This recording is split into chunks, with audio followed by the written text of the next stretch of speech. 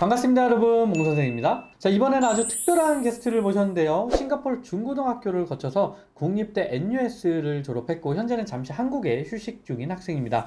자 이 친구는 인생의 절반을 싱가포르에 있었을 정도로 그냥 한국말 잘하는 싱가포르 사람이라고 봐도 좋을 것 같습니다. 자 평소 싱가포르 공교육에 관심이 있으셨다면 오늘 영상은 정말 큰 도움이 될 것이니 끝까지 시청해 주시길 바라겠습니다. 자 시청하시기 전에 좋아요 꾹꾹 눌러주시고 구독해 주시길 바라겠습니다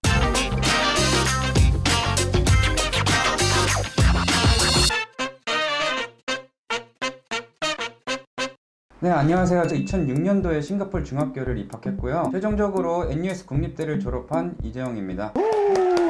아, 네, 정말 반갑습니다. 혹시 이번 영상에서 어떤 것들을 공유해 주실 수 있을까요? 네, 싱가포르 유학을 생각하시거나 싱가포르 중고등학교 때부터 국립대학에 대해 궁금하신 분들에게 이 영상을 보면 많이 유익할 정보를 공유할 생각입니다. 그럼 싱가포르 공립교육 시스템부터 시작해서 NUS 국립대 학교 생활 이야기까지 총 4편으로 우리가 자세히 여쭤보도록 하겠습니다. 자, 그럼 첫 번째 주제 바로 시작해 보도록 하겠습니다. 싱가포르 공립중학교에 관한 내용인데요.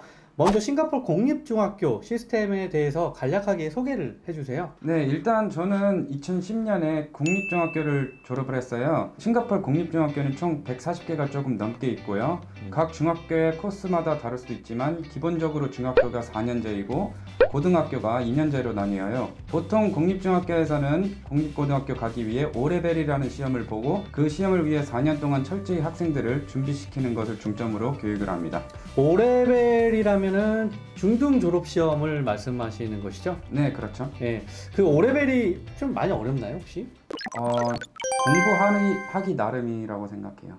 다음은 입학 조건 관련 질문인데요. 아마 많은 분들이 궁금해하실 부분인 것 같아요. 공립중학교 혹시 입학하기가 많이 어렵나요? 예를 들면 뭐 입학 시험 같은-거나 뭐 그에 따른 경쟁률 같은-거나. 네, 예전에는 두 가지 방법으로 국립중학교에 입학이 가능했었는데요. 대부분 PACT 시험이나 국립중학교의 자체에서 실행하는 입학 시험이 있고요. 근데 요즘은 대부분 PACT 시험으로 공립중학교 코스를 시작을 하는 것으로 보입니다.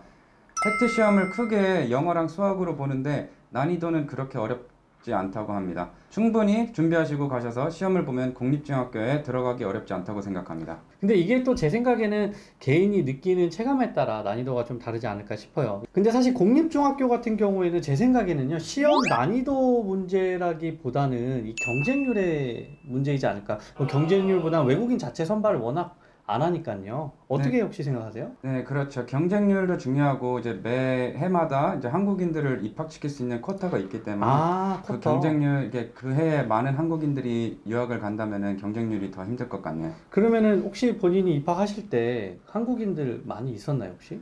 10명에서 같이 봤어요. 10명이요? 네. 그러면은 총 몇 명 정도 있죠, 재학생? 한 학년에는 한 80명 정도 되는 것 같아요. 한 학년에 80, 어, 10명이 꽤 많은데, 그럼? 네, 그렇게 됐어요. 아, 근데 이게 그때는 맞아요. 외국인을 좀 많이 받았던 시기이기도 하고 싱가포르이. 네, 지금은 아마 그렇지는 않을 거예요. 지금은 아마 한 두 명으로 어. 그러면 예. 한 학년에. 예, 그럼 뭐 호- 엄청나게 많이 쿼터가 줄었네요. 네, 많이 줄은 걸로. 결론은 뭐 이 팩트 시험의 난이도가 높아서 못 들어가는 게 아니라 이 한국인을 받는 그 쿼터가 좀 더 줄어들었기 때문에 뭐 들어가기 어렵다 뭐 이렇게 느끼면 될 것 같아요. 네, 그렇죠. 네. 그럼 바로 이제 다음 질문도 넘어가 보겠습니다. 학비나 생활비, 용돈 뭐 이런 유학 생활비에 전반적으로 들어가는 비용이 어느 정도 되죠? 학비가 제가 다녔던 시기보다는 많이 오른 것으로 추정이 되는데요.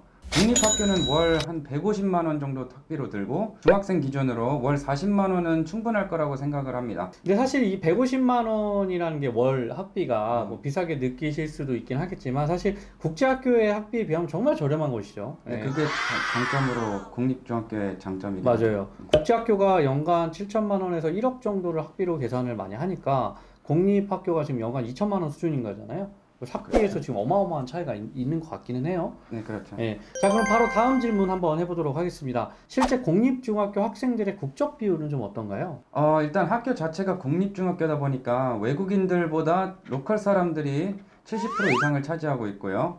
중국인, 인도, 하- 한국인, 그리고 다른 동남아 국가에서 유학 온 친구들이 남은 30%를 차지한다고 보면 됩니다. 그러니까 외국인 비율이 이렇게 많지는 않고. 근데 또 재미있는 게 싱가포르인들도 사실 여러 인종이 있잖아요. 중국계, 네. 말레이계, 인도계. 그래서 우리가 느끼기에는 또 인종이 되게 다양해 보일 수도 있을 거예요. 네. 네, 그렇죠. 자, 그럼 바로 다음 질문입니다. 국제학교하고 공립학교하고 학비 차이가 좀 크잖아요. 그래서 아무래도 수업의 quality가 좀 떨어지지 않나 이런 걱정을 하실 수 있을 것 같은데 실제는 좀 어떤가요? 네, 사실 공립학교라고 해서 국제학교에 비해 수준이 많이 떨어지거나 그렇진 않습니다. 음. 수업도 8시에 시작해서 오후 3시까지 빡빡하게 구성이 되어 있고요.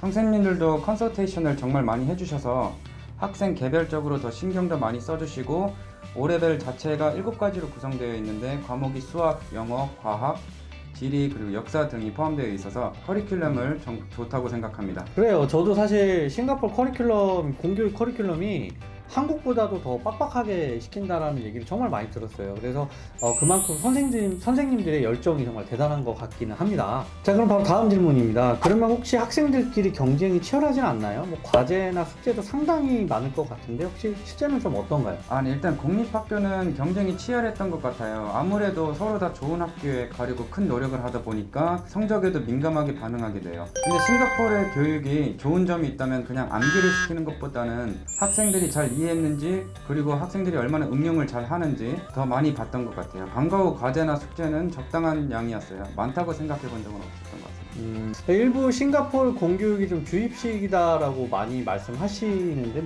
또 그렇지는 않은가 봐요. 아, 저는 그렇게 안 느꼈어요. 아, 저는 사실 왠지 이제 공교육이고 싱가포르 공부를 되게 빡빡하게 시키고 뭔가 틀에 딱 박혀서 이렇게 어떻게 진행이 될 거로 생각을 하고 있는데 말씀하신 거 보니까 뭐 주입식보다는 좀 더 비판적인 사고, 네. 뭐 응용시키고 뭐 이런 이런 숙제가 더 많았다. 뭐 그렇게 받아들이면 될 것 같습니다. 네.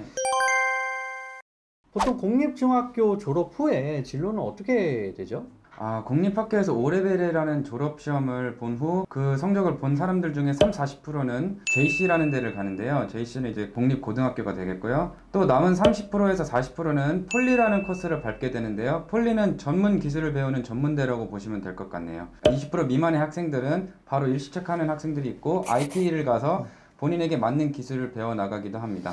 근데 사실 여기서 지금 말씀하신 것 중에 되게 중요한 게 JC로 진학을 해야 싱가포르 공립대, 뭐 난양 공대 이런 데 들어갈 확률이 높다는 것이죠. 네, 그렇죠. 그리고 또 이제 폴리테크닉은 우리나라 전문대 뭐 이렇게 되는 거고, 예, 그리고 IT는 뭐 거의 직업 전문 학교 거의 네, 그 정도 그렇죠. 수준이고, 예, 일을 바로 하는 애들도 있죠. 일을 되게 빨리 하는 거죠. 네, 그렇죠. 중학교 졸업하고 이제 중- 예. 이게 이게 약간 이런 식인 것 같아요. 싱가포르는 어렸을 때부터 특별반하고 보통반 좀 나눠놓고 하지 않나요? 네, 맞아요. 그래서 특별반에 우수한 학생들 한 30% 정도 되나요? 25% 네. 4분의 1 정도 되는 것 같아요. 이 4분의 1의 학생들이 JC로 이렇게 가는 거죠. 네, 네. 그렇죠.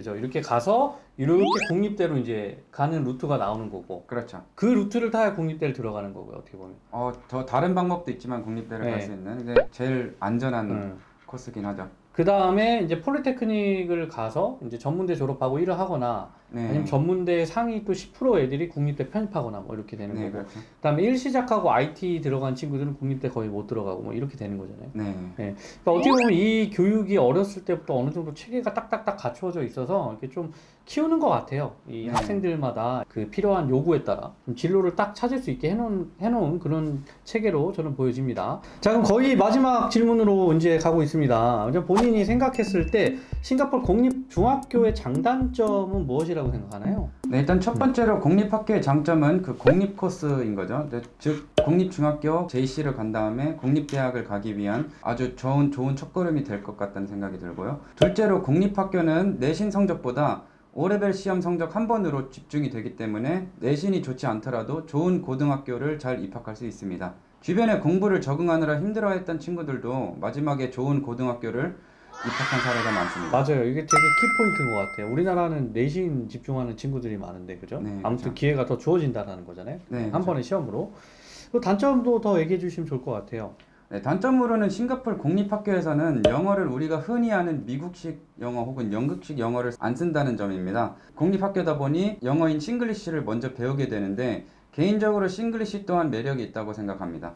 단점으로 지금 Singlish를 꼽으셨어요. 사실 제가 가장 많이 듣는 얘기이기도 한데 제 개인적인 생각으로는요. Singlish는 사실 발음의 차이이고 또 이거를 무시하면 또 안 된다고 생각은 합니다. 왜냐면 싱가포르 사람들 사실 다 이개 국어 하잖아요. 네, 그렇죠. 중학교 때부터 이개 국어 다 배우지 않나요? 네, 맞아요. 사실 이 사람들 언어 능력이 상당히 좋은 사람들이거든요. 그래서 네, 맞아요. 네, 개인적으로 Singlish 쓴다고 무시하지 않으셨으면 좋겠고요. 이거는 하나의 또 다른 accent라고 받아들이시는 게 어떨까 싶습니다. 네. 네, 그렇죠. 호주 영어도 조금 다르다 싶- 싶은 것처럼 생각하시면 될 것 같아요. 맞아요. 호주 영어도 네. 발음 다르죠. 자, 마지막입니다. 선배로서 이제 선배시잖아요. 이제 물론 이제 지금 좀 시간이 지났지만 이제 공립학교를 준비하려고 하는 학생들에게 뭐 한마디 해줄 수 있는 게 있다면 영상 편지를 띄워주시길 바랍니다. 아, 네. 국립학교에 다니다 보면 그 나라의 문화를 직접적으로 느낄 수 있고 한국과 다른 학교 생활을 즐길 수 있게 됩니다. 처음엔 많이 어렵고 낯설 수 있는데 적응하다 보면 싱가포르 사람들도 정이 많고 재밌다는 사실을 알 수 있게 될 거예요. 와, 역시 백수단 선배님. 진짜 최고의 선배. 한 가지만 더 물어봐도 되나요? 네. 만약에 본인이 다시 과거로 2005년도로 이제 Back to the Future 해가지고요. 네. 다시 내가 선택을 한다면 싱가포르 국제학교를 선택하겠습니까? 아니면 공립학교를 선택하겠습니까? 개인적으로 다시 선택을 한다 해도 저는 공립학교를 선택해서 공부를 할 것 같습니다. 너무나도 좋은 경험이었고 많은 걸 배웠다고 생각합니다. 그 외에도 공립학교를 선택한 이유는 학비가 혹시 좀 저 아, 네. 저렴하기도 하고 학비도 그, 그 중에 있었죠. 그렇죠. 예. 많이 싸니까. 예. 음. 뭐또 다른 이유는 더 없으실까요? 궁- 개인적으로 좀 궁금해가지고 어, 대학을 가기 위한 아주 공- 좋은 코스. 공립대 예, 공립대. 저는 근데 모르겠어요. 이게 되게 호불호가 갈릴 것 같은데 저는 또 국제학교를 선택하지 않을까라는 생각이 아. 들거든요. 제가 공립학교에서 딱 한 가지 좀 아쉬웠던 게 보였던 거는 약간 좀 activity나 이런 게 좀 부족하지 않았나. 어, 저- 전 충분히 저희 학교는 충분히 아, 그래요? 네, 이게 또도 다- 했었고 아, 네, 뭐. 밴드도 있었고 아 죄송합니다. 제가 그런 CA 이상한- 관련된 아 알겠습니다. CA 관련 활동 마- 마- 많았다라고. 아. 뭐 이건 사실 개인의 이제 호불호가 좀 있지 않나. 예. 네 그렇죠 학교마다 또 다르기도 하고 예. 근데 지금까지 여러 가지 현실적인 말씀 정말 예, 감사합니다. 싱가포르 중학교 입학 고민하는 학생들에게 그리고 학부모님들에게 정말 큰 도움이 되었을 것이라고 생각을 합니다. 네 정말 큰 도움이 되었으면 저도 좋겠네요 자 그럼 다음 편 또 예고 드려야겠죠. 다음 편에서는 싱가포르 고등학교 주니어 컬리지 JC 아 이 JC 궁금하신 분들 많으실 거예요. 자 이 관련 내용인데 어떤 얘기를 해주실 예정이시죠? 네 다음 편에는 JC 혹은 고등학교 과정을 입학할 시 공부 환경 그 학비 등 오늘과 같은 내용들을 자세히 살펴보도록 하겠습니다 네, 오늘과 같은 내용이라고 하면 뭐 학교에 대한 뭐 커리큘럼부터 시작해서 뭐 어떤 게 네, 장점이고 단점인지 뭐 이런 거 다 뭐 공유해 주신다는 말씀으로 그렇죠. 받아들이면 되겠습니다. 자, 그럼 1편은 여기서 마무리를 하고요. 뭐 저희가 처음으로 호흡을 맞춰봤기 때문에 좀 부족한 면도 있었겠지만 2편부터는 조금 더 예, 완전 크로스를 해가지고 예, 좋은 협업으로 다시 찾아뵙도록 하겠습니다. 감사합니다. 감사합니다. 떠나시기 전에 좋아요 꾹꾹 눌러주시고 구독해 주시길 바라겠습니다.